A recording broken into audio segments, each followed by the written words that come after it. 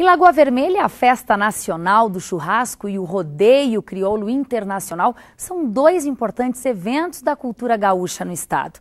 E tanto a Festa do Churrasco quanto o rodeio vão receber o apoio da UPF. Foi ao som de música gaúcha que foi lançada no CTG Alexandre Pato a terceira edição do Rodeio Crioulo Internacional e a 17ª Festa Nacional do Churrasco, que acontecem no Parque de Rodeios Ítalo Nunes Mondadori. O lançamento chegou hoje, com sucesso. Estamos com a casa cheia, autoridades, amigos de outras cidades, amigos de outros estados estão aí prestigiando o nosso CTG Alexandre Pato. E a Festa Nacional do Churrasco e comida campeira, não vai ser diferente. Vai ser um sucesso total. A solenidade reuniu autoridades e convidados. Para o prefeito de Lagoa Vermelha, os eventos servirão para mostrar ainda mais as potencialidades do município. Um momento de confraternização, de, de, é, de conversa, de bate-papo, de expansão de, de é, das potencialidades do nosso município em todas as áreas.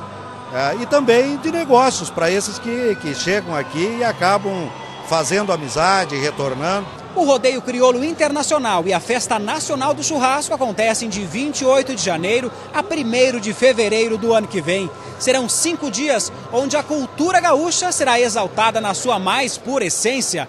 A organização espera receber mais de 50 mil pessoas. E para agradar toda essa gente, 10 mil quilos de carne serão colocados no fogo. Quem vier poderá entender por que o churrasco daqui é considerado o melhor do Brasil. Seu Oscar participa desde a primeira edição. É ele quem sempre comanda os trabalhos. Nós temos um corte todo especial.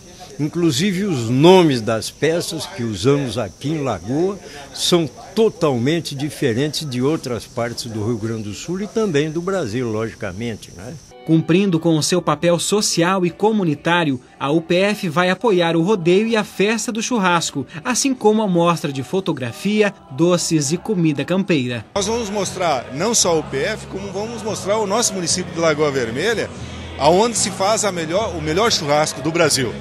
E efetivamente é uma oportunidade ímpar para que a UPF também se congregue nesta oportunidade, nesta é, comemoração que é tradicional no nosso município. Tatiele Bueno e o coral da UPF se apresentaram durante a solenidade.